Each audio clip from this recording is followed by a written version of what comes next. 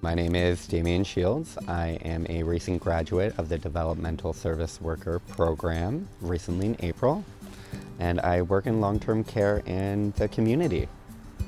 I've attended many other colleges within the Durham region and Toronto area, and I can say by far that the educators at Loyalist College were willing to aid in my supports and success. They were knowledgeable, they were well experienced, and they were always there to help me succeed in my studies on any type of barrier that I experienced.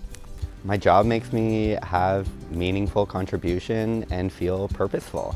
It makes me feel like I'm doing good in my life and I'm making a positive impact in individuals who don't always get a light to shine or an opportunity to demonstrate their own skill and abilities and teach other people.